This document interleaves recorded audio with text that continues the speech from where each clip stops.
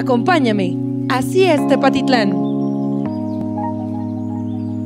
El Museo Municipal de Tepatitlán se encuentra justo al lado del Santuario del Señor de la Misericordia y es otro de los lugares emblemáticos de la ciudad. Antes de volverse el recinto donde se resguarda parte de la historia del municipio, fue la casa del sacerdote encargado del santuario. Después del inicio de la Guerra Cristera, fue expropiada por el gobierno federal y cedida al municipio en el año de 1928 para que fuera la primaria Niño Artillero, que en ese entonces recibía solo niños, misma que estuvo en funciones durante 70 años.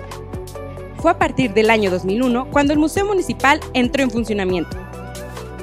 Actualmente, el museo es hogar de varias piezas históricas, así como diversas exposiciones.